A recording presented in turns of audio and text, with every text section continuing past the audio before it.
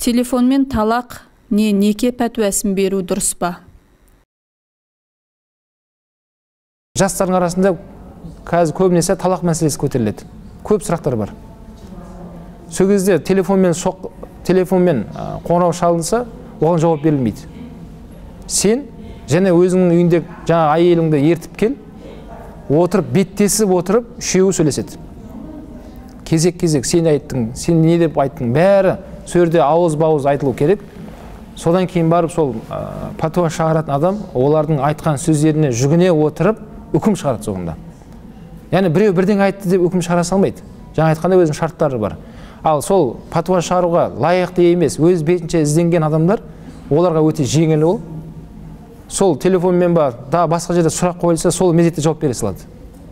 Е ондай қатынды жіберу керек дейді кетсін дейді. Қатынсыз қалмайсың ой қорықпа сен дейді. Ол жеңіл санап тұр бірақ ол түсініп тұрған жоқ ол әйеліне қандай зұлымдық қылғанын да біліп тұрған жоқ. Себебі адам айтқан кезде өзін ә, дұрыс екен қылып жеткізеді ғой. Әйелін кінәлі қылып жеткізеді. Бірақ екеуі беттескен кезде керісінше болып шығып жатыр.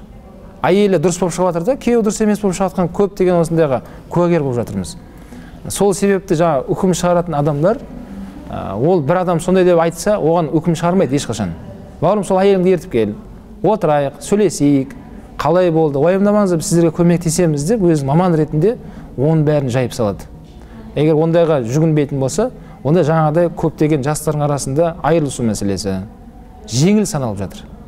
Міне осы жайында алла субханала тағала құран кәрімде деген аят бар.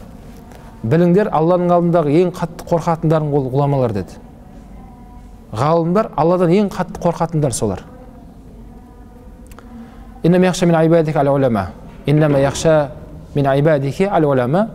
Алладан қатты қорқатындарың білім иелері ғұламалар ә, демек білімсіз адам ол батыр келеді жеңіл қарайды барлық нәрсеге ол жауапкершілік сезініп тұрған жоқ ертең аяқ соңында адамдар соған амал жасаса не болып кетеді деп оған парқына барып тұрған жоқ ә, мен сол мысырда оқып жүрген кезімде 2010-да ма 2009-да ма бір елден сол жат ағымдарда жүрген бір бауырымыздың патуасы маған шықты.